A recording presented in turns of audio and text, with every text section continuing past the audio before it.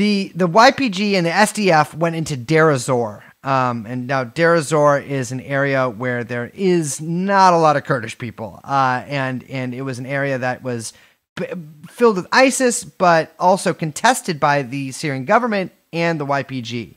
And since they've been there, I think my suspicions have really started to blossom uh, because there have been quite a lot of problems, and it's almost turned into like a sort of like Wild West type situation. And so what what what I fear is is is that this is actually happening. Like the YPG is sort of being um, they're they're they're trying they're doing they're, I think they're engaged in this uh, militiafication sort of process. Right. Um, see, the thing is, I, I don't think that there was a master plan from the beginning. From, from what it seems to me from within Washington, the the SDF project was really like Turkey is spooked by these guys we're working with. We need a new label, but like it kind of evolved, or people saw this yeah. as an option.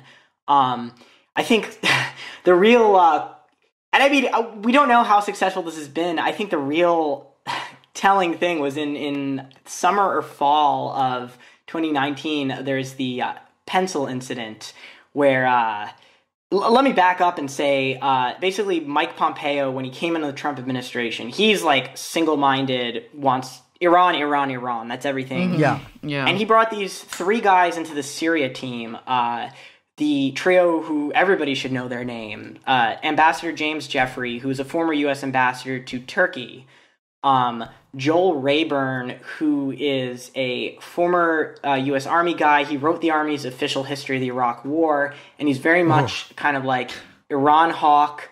I like to deal with the Syrian rebels. And then there's uh, Rich Outzen, another former Army guy. I'm not really sure what his deal is, but I, he's probably going to take his Twitter down after this. But if you look at his Twitter, it's like this bizarre combination of like MAGA and pro Turkey stuff. Oh, ooh, nice. The classic combo. MAGA and turkey is like the uh, KFC Taco Bell duo. Two great tastes that taste great together.